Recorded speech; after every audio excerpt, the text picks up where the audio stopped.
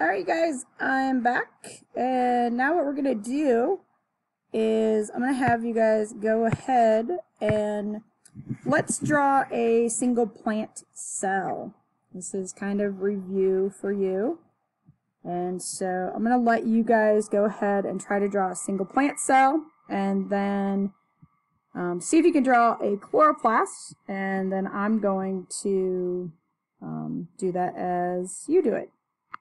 Okay, so here I have my drawings. If you guys want to pause it, if you were unable to draw, especially the chloroplast, because that's new uh, for you. Um, the plant cell is not so new. And so you can see that I drew the thick, um, we're looking over here at drawing a single plant cell. I drew the thick green cell wall, a large vacuole in the middle that stores uh, water and different things. I have the nucleus that's holding the genetic material.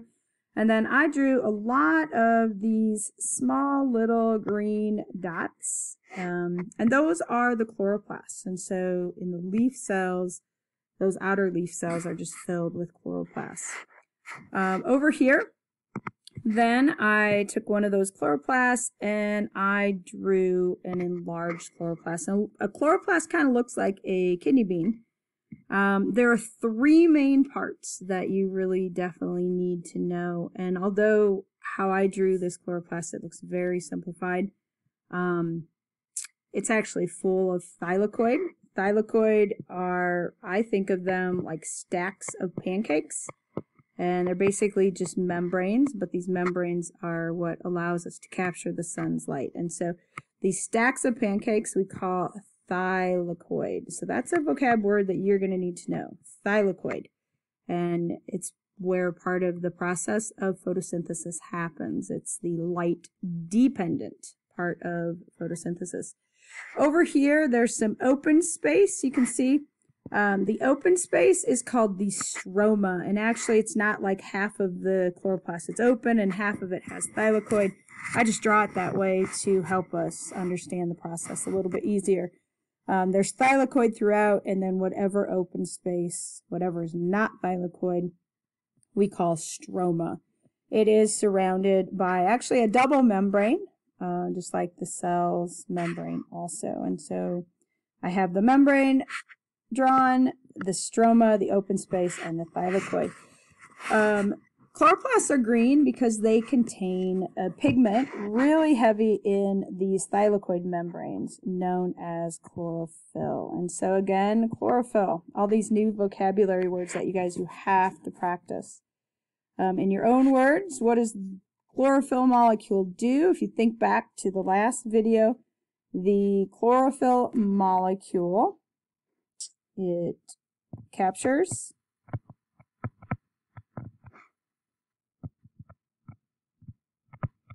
sunlight.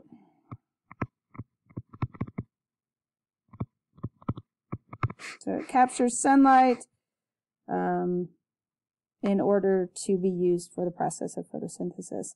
Besides light, what else does a plant need for photosynthesis? So the two things that a plant needs besides light would be water. So H2O, you guys know that is water. And it also needs carbon dioxide. So carbon dioxide, CO2. So if we start to think about the process of photosynthesis, and now I have a nice little picture, if you compare this picture um, right here uh, to the picture I drew, you can see why I drew it the way that I did. And so let's really hit what is photosynthesis now? Well, photosynthesis is basically a chemical reaction. And so in a chemical reaction, kind of like baking cookies, you need ingredients to go in and then you get a product out. And so we call, we talk about a reaction in um, science, we don't talk about ingredients. We talk about the things that go in would be called the reactants. And so in this case, if you look at the picture below and you think about, well, what are the reactants? Well, look at the arrows. What arrows are going into the chloroplast. And you can see right here we have light, the arrows are going into. We have water, um, because the arrow is going into that thylakoid membrane. And then we also have carbon dioxide going into the chloroplast.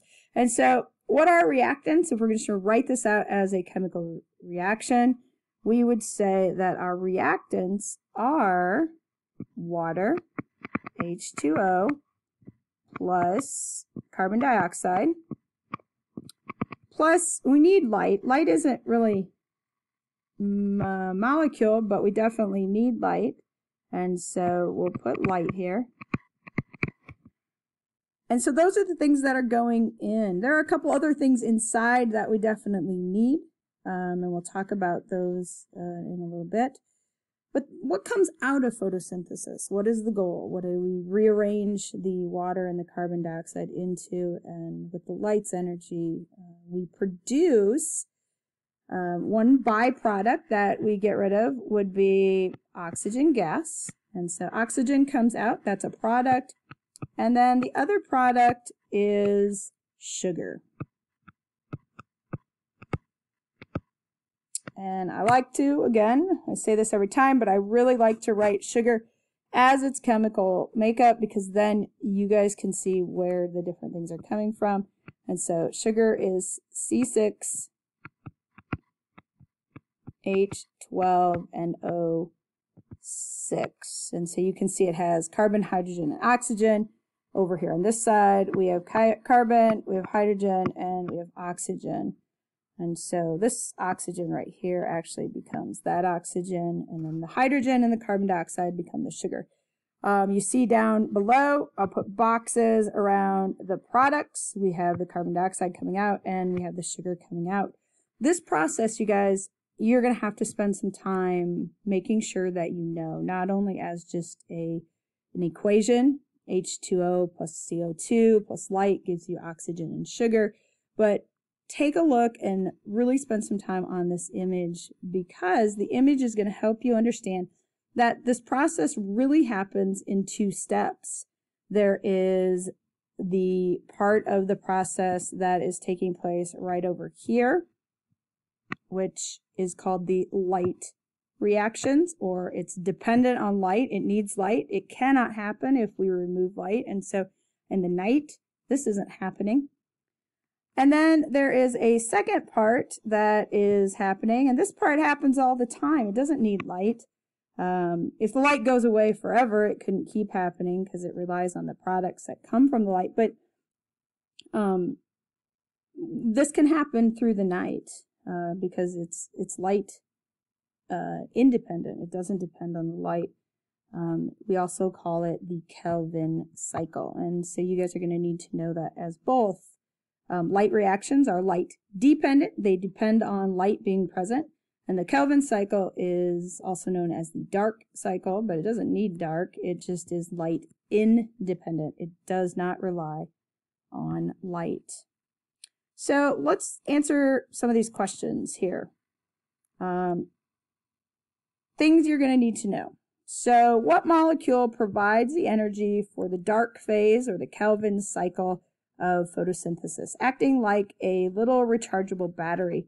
This is where we got to get into the middle here. And I'm going to erase some of the stuff that I have because I want you to be able to see, ooh, there's some other molecules up here in the middle that we are going to have to talk about if we really want to understand this process. And so what molecule provides energy for the dark phase? Well, the light doesn't. The light's not there. And so temporarily what we do is we take an ADP, and we attach a phosphate and we create some ATP. And so in the light reactions, we actually make, we actually charge um, ADP and we create a little bit of cellular energy. And so this is ATP. ATP is cellular energy. And so we use a little bit of cellular energy in order to um, make sure that Calvin cycle can happen even when it is dark. Does the dark phase need darkness? No, it does not. Um, however, it is light independent, which means it does not need light. It can happen in the light, but it doesn't have to happen just in the light. It can also happen in the dark. Unlike the, unlike the light reactions, they have to happen just in the light. Uh, number 10, what part of ATP comes off? So ATP, right here, boom, energy. Keeps this cycle going, and as soon as that ATP's energy is used in the cycle, a phosphorus pops off. It's kind of like it uncharges the battery. ADP has to come over and get more phosphorus. So what part of ATP comes off in order to release energy? That would be the P, and that is phosphate. A phosphate group comes off, but it can be recharged. That's why you need phosphate in your body in order to have cellular energy.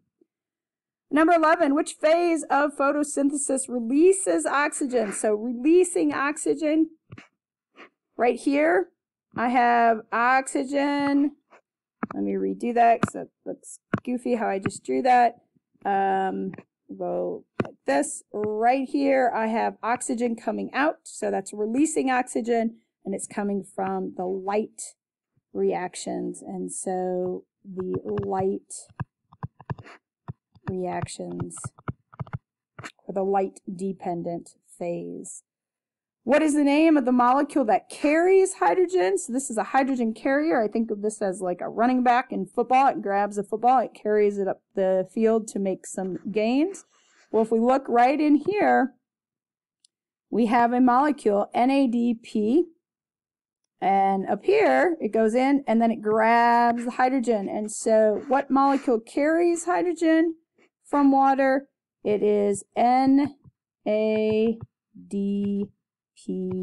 plus. So it has a positive um, cation, cation, so it's charged and it can grab onto that hydrogen when water is broken apart. And so we call it an electron carrier because it's carrying that hydrogen um, charged particle.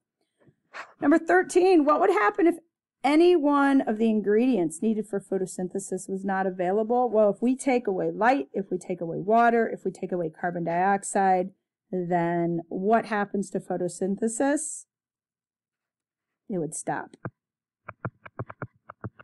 It would stop. You would not have photosynthesis happening anymore if you got rid of one of the ingredients.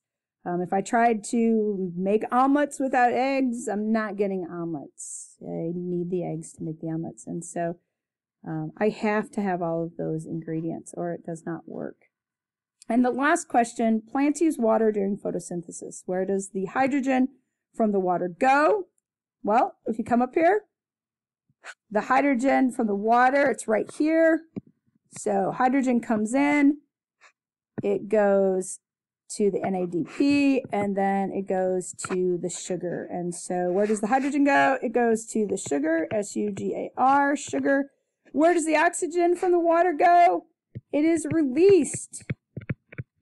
It is released as oxygen gas, one of the products of photosynthesis and allows us to breathe in oxygen gas this is the end of this activity. Um, this gives you kind of an overview of photosynthesis, and now it's going to be your opportunity to dig in deeper into some of the readings with the questions and the vocabulary and put it all together. Good luck. I hope you enjoy it. Don't um, count yourself out and give yourself the best opportunity to learn and understand this amazing process that provides life on planet Earth.